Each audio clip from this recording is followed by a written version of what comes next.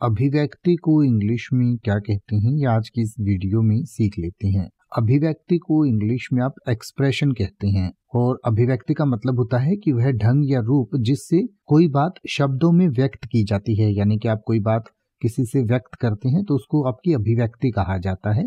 और इंग्लिश में आप इसे एक्सप्रेशन कह सकते हैं। जैसे कि अगर आप ये कहना चाहें कि एक गर्मजोशी भरी मुस्कान खुशी की एक खूबसूरत अभिव्यक्ति है तो आप कह सकते हैं a warm smile is a beautiful expression of happiness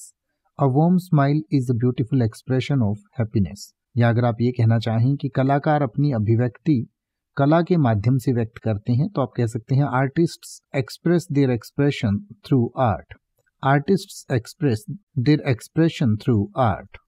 अब आप ऐसे ही किसी भी वर्ड का मतलब हिंदी और इंग्लिश में यूट्यूब पर सर्च कर सकते हैं। आपको मेरी वीडियो मिल जाएगी, जिसमें आप बिना किसी फालतू बकवास के सीधा उस वर्ड का मतलब समझ पाएँगे। तो ऐसी ही वीडियोस को देखते रहने के लिए चैनल को सब्सक्राइब करें और बेल आइकन को प्रेस करें।